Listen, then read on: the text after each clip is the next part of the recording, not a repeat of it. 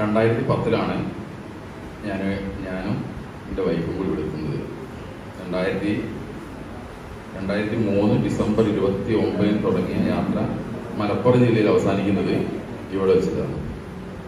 ആദ്യമൊക്കെ വീട്ടിൽ പോയി വരികയായിരുന്നു പാലക്കാട് ട്രാൻസ്ഫർ എടുത്തതോ സ്വാഭാവികമായിട്ട് ഞാൻ മോട്ടിവേഷൻ ചെയ്ത അവളോട്. ഇപ്പോൾ വീട്ടിൽ പോകണം വീട്ടിൽ പോകണം കുറച്ച് ദൂരമുണ്ട്. പിന്നെ യാത്ര എന്നാൽ ടൂ വീലറിന് മുകളിൽ കവറൊക്കെ എത്തി മഴയത്ത് അങ്ങോട്ട് മുകളിൽ യാത്രയായിരുന്നു.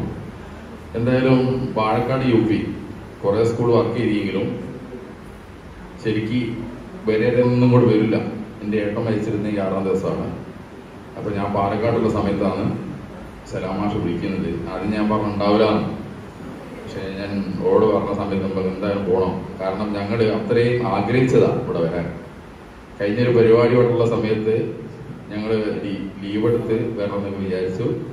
പി ടി എവിടെയോ ഒരു പരിപാടിയിൽ ഫോട്ടോ ഇട്ട് പി ടി ഞാൻ ചീത്തയൊക്കെ പറഞ്ഞ്. പി ടിന്നോട് പറഞ്ഞു ഞാൻ വായക്കാടല്ലടോ ഇത് വേറെ പരിപാടിയാണ്.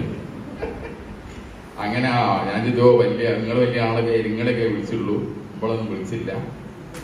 അപ്പൊ പി ടി പറഞ്ഞ് വിളിക്കാത്ത പരിപാടിക്ക് ഇപ്പോൾ പോകുന്ന പരിപാടിയില്ല. ഇനി വിളിക്കട്ടെ എന്നാണ് അങ്ങനെയാണ് പിന്നെ സലാമാഷ് വിളിക്കുന്നത്. എന്തായാലും ഇവിടെ ഇവിടെയുള്ള അധ്യാപകരെയും സ്കൂളിനെയും പ്രത്യേകിച്ച് ഈ നാട്ടുകാരെയും ഒന്നും നമുക്ക് മറക്കാൻ പറ്റില്ല. കാരണം ഇനി എനിക്ക് സർവീസ് നാല് വർഷം ഉള്ളൂ.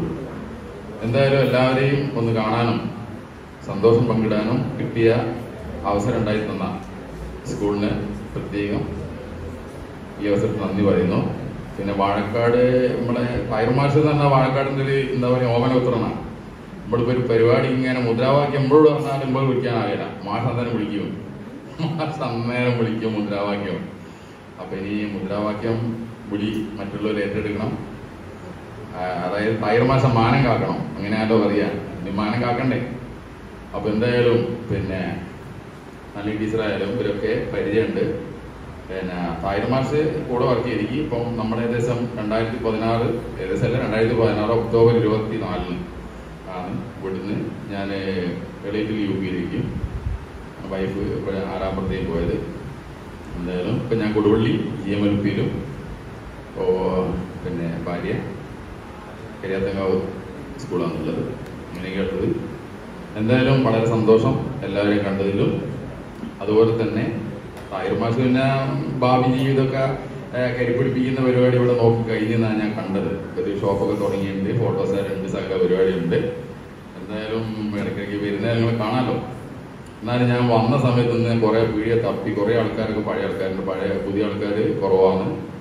അങ്ങനെയൊക്കെയാണുള്ളത് എന്തായാലും നമ്മളെ ഇന്ന് സ്കൂളിൽ പിരിയുന്ന നാല് പേർ പ്രത്യേകം പേരെടുത്ത് പറയുന്നില്ല.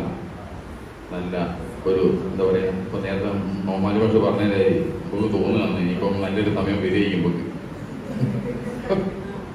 അപ്പൊ എല്ലാവിധ ആശംസകളും നേർന്നുകൊണ്ട് തൽക്കാലം നിർത്തുന്നു.